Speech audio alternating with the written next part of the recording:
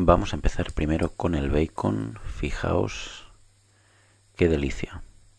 Fuego lento para que vaya dejando la grasa. Batimos los huevos y finalmente lo echamos todo a la sartén. Básicamente lo meneamos un poco para que el huevo se cuaje y listo.